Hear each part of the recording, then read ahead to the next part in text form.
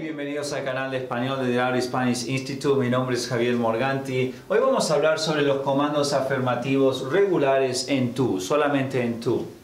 Muy bien, tenemos eh, los primeros verbos que es caminar, aquellos verbos que terminan en AR, por ejemplo, camina, muy bien, y comer, que son aquellos verbos que terminan en ER, por ejemplo, come. Ah, abrir, aquellos verbos que terminan en IR, por ejemplo, abre. Vamos a ver algunos ejemplos de verbos en comandos en la segunda persona tú. Ah, habla más despacio, por favor. Corre tres veces por semana. Escribe todo en el cuaderno. La diferencia entre los comandos y los verbos en presente es que los verbos en comando ah, indican ah, un comando hacia una persona. Cuando una persona le dice a otra qué hacer. no son muy fuertes en español, lo usamos todo el tiempo. Muy bien, una nota que acabo de escribir es que cuidado con los verbos en presente porque la tercera persona del singular termina igual que el verbo en comando en tú. Como pueden ver, caminar es camina, tú, y aquí es él, ella, camina. Es la misma terminación, pero es un diferente tiempo.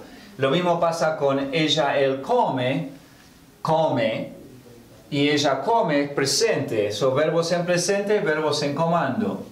Y ah, lo mismo con abrir es él, ella abre, y es abre la puerta, él, ella abre la puerta todos los días.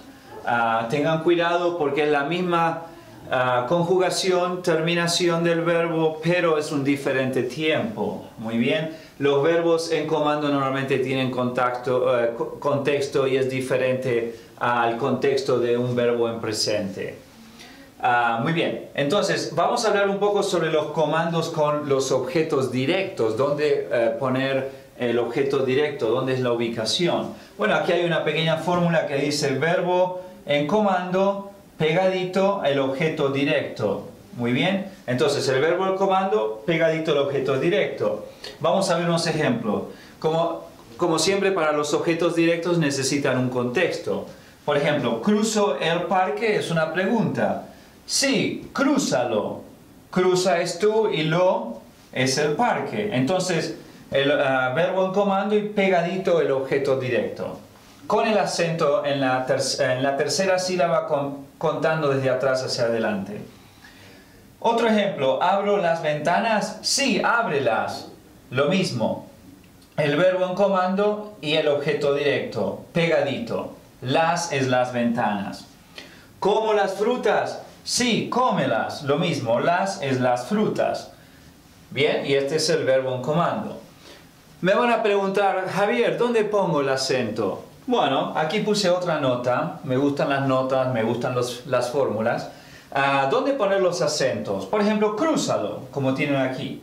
Muy bien, separé en sílabas, cruzalo, y les, eh, les, escribí cómo, cómo contar la cantidad de sílabas para poner el acento. El acento va en la tercera sílaba contando desde atrás hacia adelante. Entonces, primera sílaba, segunda sílaba, tercera sílaba y ponen el acento en la tercera sílaba contando desde atrás hacia adelante. Bueno, esta fue la clase de hoy por los comandos afirmativos regulares en tú. Espero que les haya gustado la lección. Nos vemos en la próxima. Chao.